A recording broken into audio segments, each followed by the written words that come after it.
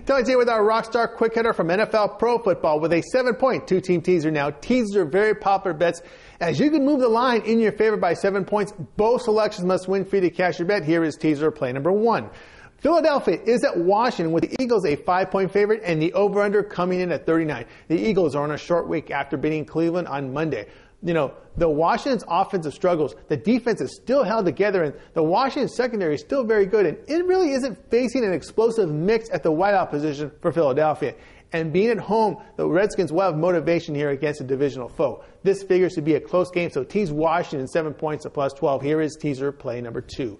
Washington's secondary and linebacking corps will limit big plays from the Eagles. You know, the Eagles receivers are not top tier, so expect the Redskins secondary to limit plays downfield. A low scoring affair here, and the under is 6 and 1 in the last seven meetings in the nation's capital. Also, Washington 10 1 and 1 to the under in their past 12 games.